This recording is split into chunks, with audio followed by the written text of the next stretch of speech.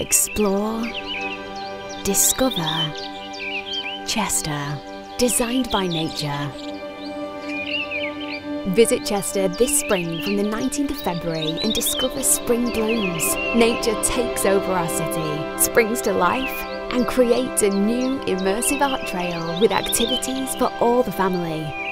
Visit chester.com forward slash spring blooms for more information.